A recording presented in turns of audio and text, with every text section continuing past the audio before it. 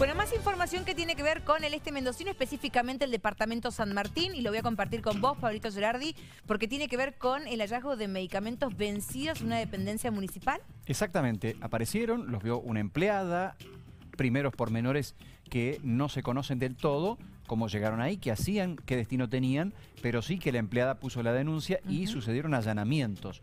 Lo que encontraron fue esto, parte de un cargamento en un hallazgo en la llamada Casa de la Cultura del Departamento de San Martín, que serían medicamentos de programas nacionales del Gobierno de la Nación, como ustedes ven al pie, elementos gratuitos, prohibida su venta, pero todos en su gran mayoría vencidos entre 2022 y 2023.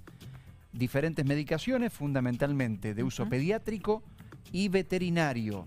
¿Y qué han dicho de la municipalidad?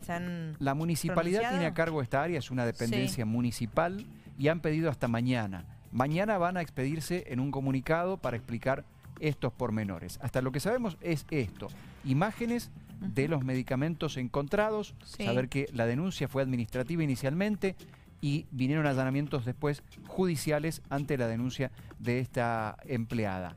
Habrá que saber entonces qué destino tenían, qué hacían allí, si eh, se vencieron y tenían otro destino que no fue aprovechado oportunamente. Bueno, muchas preguntas que nos quedan, no solamente periodísticamente, sino también políticamente, porque ya hay concejales de la oposición pidiendo cuenta y razón a la municipalidad, al gobierno de Raúl Rufeil, respecto de esto y de anteriores pedidos de informes. Veremos mañana entonces qué dice el municipio, pero estos medicamentos vencidos en buena parte y de procedencia nacional estaban en una dependencia del municipio de San Martín.